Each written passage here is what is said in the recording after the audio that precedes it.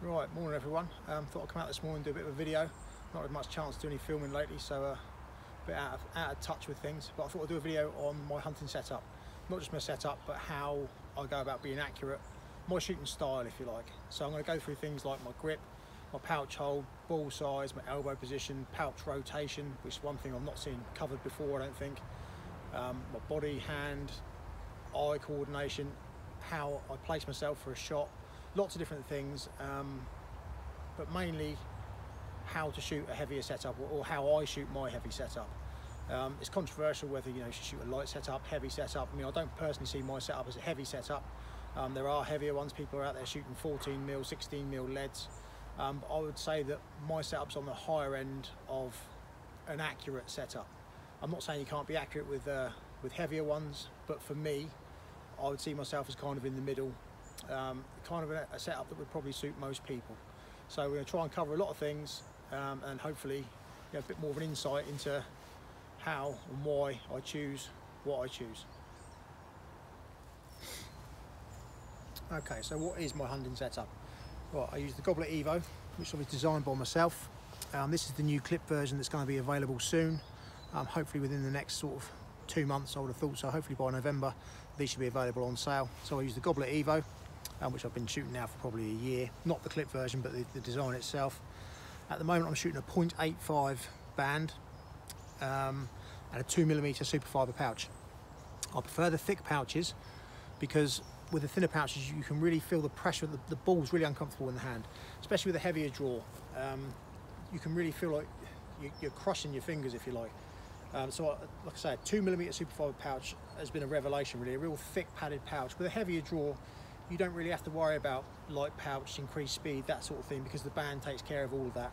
The, the, the heavier pouch is far worth more than, than, a lighter pouch and trying to gain a few extra feet per second, if if that. So that's that's my setup. This end, ammo wise, I'll use 10 millimeter lead or 11 millimeter steel. So, like I say, not a massively heavy setup but this generates good speed, good power, puts out around about between 230 and 240 feet per second with an 11 millimeter steel, which equates to around 11 to 11 and a half foot pounds. So we're within legal limits and more than safe, more than capable to hunt with to ranges of 35, 40 yards. Right, so the first thing I want to cover is the grip on the frame. All my frames are designed to be held in a brace grip, so that's the thumb and forefinger across the width of the frame to give you a nice solid hold. Um, another grip which is good for a, a heavier setup would be a, a pinch grip because obviously again you know it gives you a solid hold on the frame. What I'm looking for when I shoot is a straight wrist. So a pinch grip will naturally give you a straight wrist and so will a brace grip if you push your wrist forward. So what I don't think is good on a heavier setup is if your wrist is cocked back like this. Hopefully you can see what I mean. Your wrist is cocked back so that the frame is sitting flat to my body which I don't think is a good way to shoot. Your bands will slap into the face of the frame. You won't get a clear pass over unless you're twisting the pouch to try and get it to pass over. Plus you, your wrist is, is in a strong position. To get your wrist in a strong position for a heavy draw, you really need, or not need, but you should be shooting with a straight wrist. So that all that pressure is coming back through a straight line. that will stop obviously a lot of the, the shaking and wobbling. So a brace grip with a straight wrist it, puts you in a strong position for a heavy draw or heavier draw. Right, next thing I want to cover is pouch hold. Now, pouch hold with lighter setups, you'll always hear everywhere people saying grip the ball, grip the ball, grip the ball, which is right. But I think with the heavier setup, uh, you need to be gripping in front of the ball.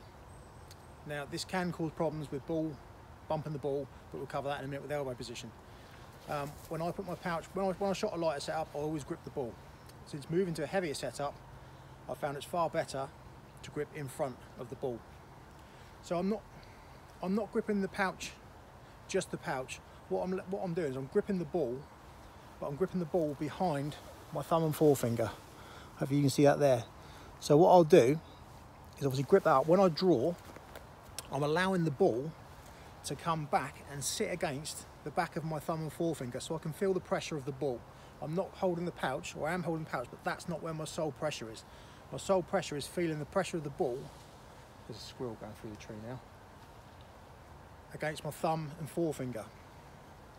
So the ball is kind of up against a barrier which is made by my thumb and forefinger so it can't slip. If it can't slip or it doesn't feel like it's going to slip, you're less likely, or you shouldn't be, doing this with your elbow because you don't feel like the ball's going to slip. So I can hold that day long, I can draw that, no problem at all. Because the ball is sat up behind my thumb and forefinger, it's got a barrier so I can feel it there. As long as I keep my elbow straight and I can feel the ball, I can feel the balance of the power, I can release it straight. Right, now this is where it gets a little bit complex. Um, for me, I shoot with my frame slightly cocked. Pouch rotation is one of the biggest things in, I think, in wavering accuracy. Sometimes your ball will strike left, sometimes it will strike right. Um, now, it may only be a small amount, but I think a lot of this comes down to this. Obviously, we've all got our anchor points, um, reference points, but when you draw into your anchor, if you draw to you, you can draw to your anchor and say your anchor's here. Now, if you're drawing to here and your your hand is at this position and your ball flies straight, brilliant. Next time you draw to here, your thumb's still here, but your hand might be like that. So what you've done is you've added a degree of rotation. That's going to put an, an amount of spin on the ball and send your ball one way or the other, depending on which way you've twisted your hand. So pouch rotation and its reference to the line of the bands is very important. It's kind of like a rifle. Um, when you get a rifle, you set the rifle up and it's it's set dead straight. You know, you've zeroed it. With a catapult, you have to zero it every single time because each time you're having to line up the front and back to get the straight line. Now, I'm not saying you can't shoot with a twist in your pouch. I've said this before. You can. If that's what you do every time and it's working, it's great. But for me, I like to shoot with a, with a dead straight flat band. So it's straight through. There's no twisting it like this or like this. So to get this straight, every time I have a two point or two part anchor. So to get my rotation correct, or to get my anchor correct, I'll anchor to the side of my nose. Now see this finger here? To get my rotation correct, I'll twist my hand in and touch the corner of my mouth. So I'm locating there, the side of my nose, and my finger is locating in the side of my mouth. So I know if my finger isn't touching, I'm not at the correct rotation. So I bring my finger in to just touch there. So I've now got my height set and my rotation set and my draw set. So there I've got like a two a two part anchor. So it's like two two checkpoints if you like. So that that sorts out obviously like I say my anchor and my rotation. All I then have to do is then match the rotation with my catapult so I can see dead straight, just see one flat line down the band and I know my bands are dead straight. Right, so now we know how I shoot, which I shoot with a two-part anchor. I also shoot very stood upright, which makes me have to shoot with a slightly cocked frame. Um, some people you'll see shoot with their head right over like this and the frame dead straight. Absolutely nothing wrong with that. Um, the problem I find with that is when shooting upwards, it limits your draw. So we shoot like this, dead straight. I go to shoot upwards. My hand, you know, I've still got a good draw there, but it's not as good as it could be. I let stand up dead straight, so I'm drawing across the length of my body. The longer the draw you get, obviously the more power you can put into your shot. Yeah, your bands have to be a bit longer, obviously, but that's great. You want the longest draw as possible. If you're using a short draw technique, you know, you definitely want the longest draw as possible. So I like to stand up straight. And what we need to do, what we're looking to do is get the band to pass directly under our eye. That's why you see people do this, because they're getting the band underneath their eye whereas I'll shoot with a slightly cocked frame to bring the band underneath my eye. I'll try and show you, hopefully you can see it. So because if I wanted to shoot flat, I could, I'd just do this. But that hinders me. Because when I shoot upright, like I've just explained, I don't get a full draw with my shoulder blades. So by shooting upright, I can draw further, and also if I want to shoot upwards, I've got a much longer draw so that I've got more power shooting straight up. I think this is where a lot of people struggle, is where they shoot dead straight, they go to shoot upwards, they either get stuck with their body position, because their spine obviously only go to a certain place because your hips stop, or, whereas if you turn around and shoot slightly leant back, with your shoulder blades pulled together, you can, like I say, you can get a much better draw and you get a much better natural body movement. Doesn't matter if your frame's like this, if your bands are matching it, and it's still right underneath the centre of your eye, your ball will still fly straight. So at all times, as with any catapult shooting, if you want to be accurate, you need to keep everything solid. So we're not looking to, to draw and flick. Um, with hunting, with catapult hunting, you need to be stealthy obviously because you need to get relatively close to your quarry. So there's no point in, in getting up and drawing and releasing straight away. You always need to put yourself in a position where the quarry hasn't seen you. Sometimes you're going to take a snapshot, of course, but you want to be in a position where the quarry hasn't seen you, so you can take your time. You know, get yourself set up, look at your distance, think about your shot, think about what you're doing, think about your handhold, think about where you're coming to, think think about everything. It's so easy to get absorbed in, oh my God, there's something. But you need to be thinking about everything back here for it to be successful down there.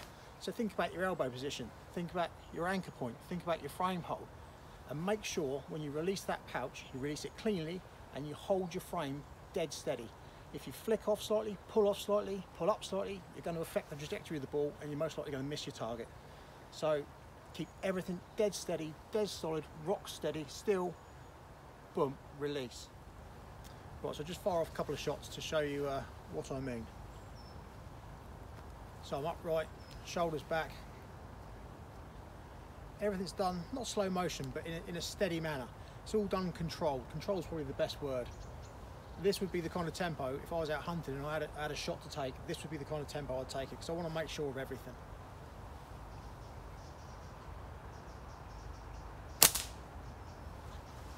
Let's do one more.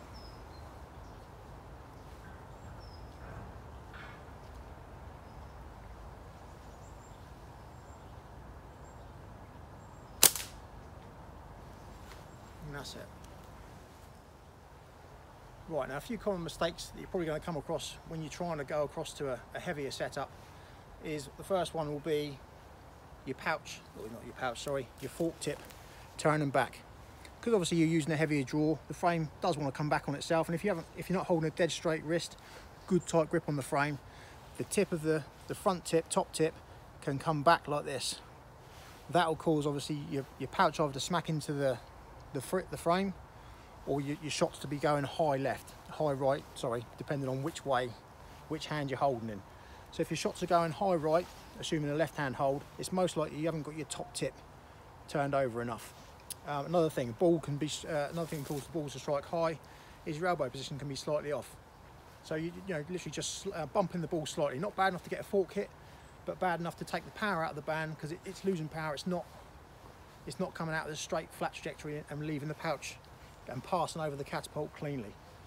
So again, a dead straight, nice upright position, dead straight elbow, leaning slightly, what's say leaning slightly backwards, standing up straight, which again gives us the, uh, the movement in our shoulders, our scapula, to be able to open our chest right out, which gives us that real big long draw that we want to be using with a short draw. We really need to, with short draw, we really need to be maximising our draw length. So we're there. Um, that's about it really, I think. I mean, it's been a bit of a, a quick summary. Um, yeah, like I say, the things to, to, watch out for is top frame, top tip of the frame turning over. Um, yeah, bumping, bumping the ball with the elbow. And the main thing is, I guess, is being solid in your setup. Making sure everything is rock, rock solid, locked down. Um, don't try not to shoot with your frame at 90 degrees. If you can, really do shoot with your frame pushed forward. It really does aid in taking that pressure off this wrist, stop the shaking, stop stop the frame being pulled back. You'll need to add some length to your uh, to your draw, obviously, to your to your active, um, which isn't a problem. It's all going to be a bit of a feeling out process. But there's so many of you now trying to switch over or switching over to a heavier hunting setup. Um, I thought this would hopefully help you all a little bit. So let me know how you get on. Hopefully you've enjoyed the video. Uh, it's not a massively long one, but it's a bit of an insight into some of the things I look for when I shoot a heavy hunting setup. Cheers.